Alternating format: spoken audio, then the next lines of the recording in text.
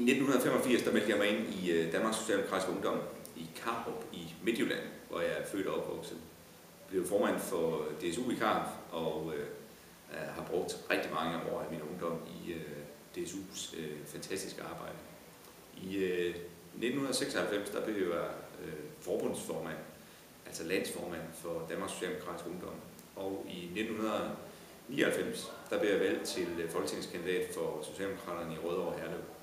Og her hvor jeg sidder nu, det er mit kontor på Christiansborg.